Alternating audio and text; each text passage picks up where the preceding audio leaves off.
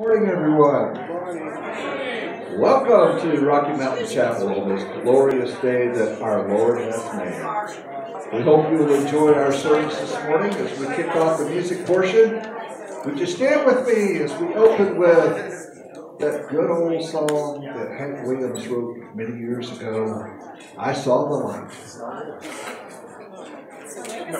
Light.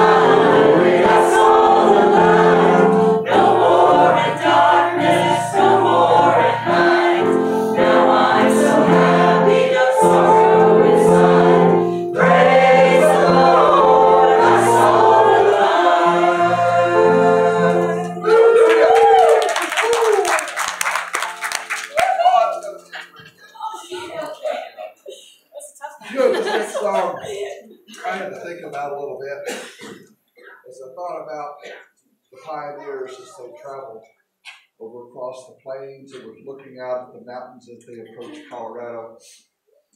And so many of them left back to Missouri and back east looking for the promised land. I think they had a little different idea of what the promised land was as to what the gentleman that wrote this song was all about. Because we're talking about heaven as being the promised land. So join us as we sing, I am bound for the promised land.